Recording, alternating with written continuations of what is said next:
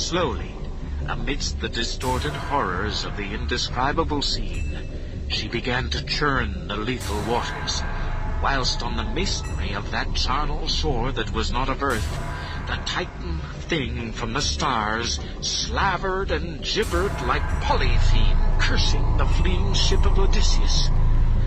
Then, bolder than the storied Cyclops, great Cthulhu slid greasily into the water and began to pursue with vast wave-raising strokes of cosmic potency.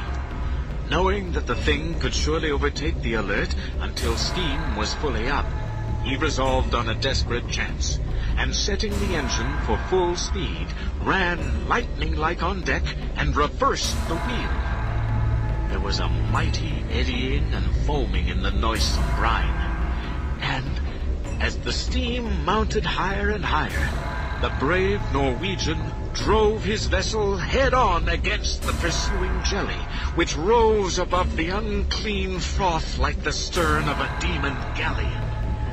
The awful squid head with rioting feelers came nearly up to the bowsprit of the sturdy yacht, but Johansen drove on relentlessly.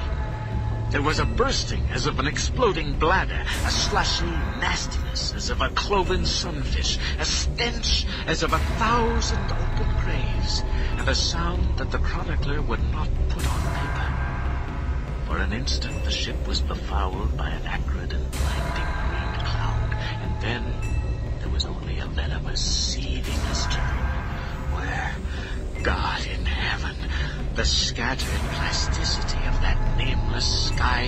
spawn was nebulously recombining in its hateful original form, whilst its distance widened every second as the alert gained impetus from its mounting steam.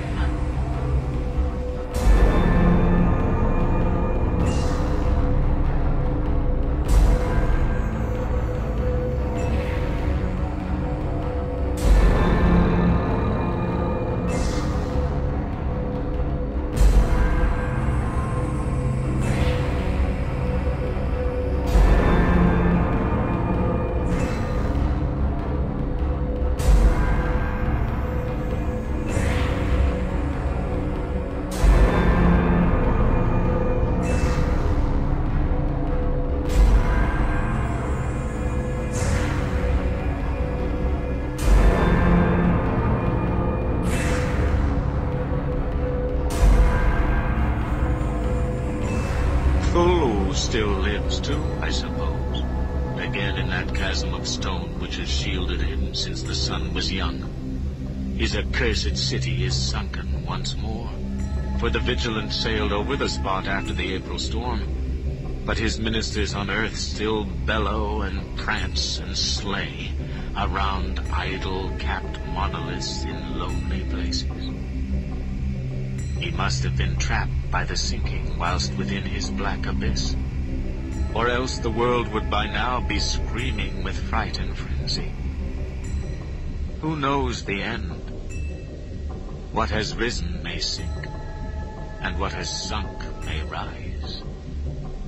Loathsomeness waits and dreams in the deep, and decay spreads over the tottering cities of men.